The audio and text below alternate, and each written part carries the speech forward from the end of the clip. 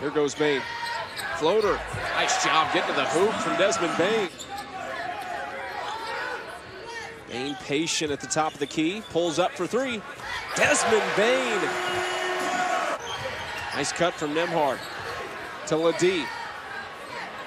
Three ball in the corner. Good. Diante Smith knocks it down. Advantage, but help from Anei late forces the miss. Great timing by Anei. Avery Anderson, a nice pull-up jumper. Nice defensive play by Anderson again. Here's Lindy Waters, a little hesitation, handoff, and Likekele puts it down with two hands. Well, who says Lindy Waters can't deliver?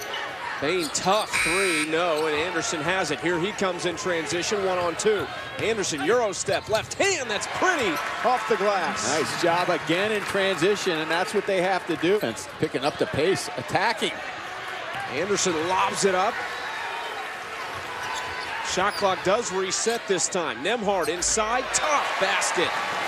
For out of bounds, also white, the border of the court. We saw that a couple times last week when Iowa State was here. Harris rises up and nails it. We're tied at 17. Side of the backboard. Likekele Euro step. Tough shot off the glass. Oklahoma State feels like they haven't scored in cut from Nembhard. Right at McGriff, and he scores. Nembhard has four. Oklahoma State baseline out, 2-3 zone. Bane steps back. Nice contest from McGriff, but it doesn't matter. Through me, and I will deliver. Likekele, strong take. Nembhard thought about trying to go over the top. Bane into the corner. Farabello wide open. Got it.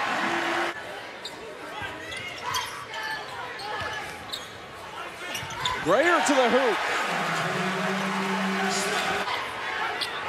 Now Grayer's in some trouble. Intercepted by Boone.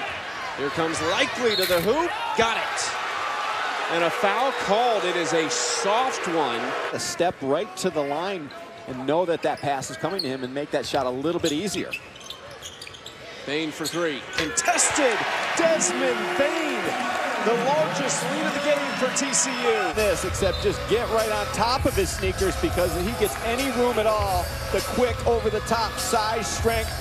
A big thank you to a fantastic crew. Eric Postman, our producer. Bubba Slosby, our director. Tim Welsh, partner. How about TCU, a 3-0 start?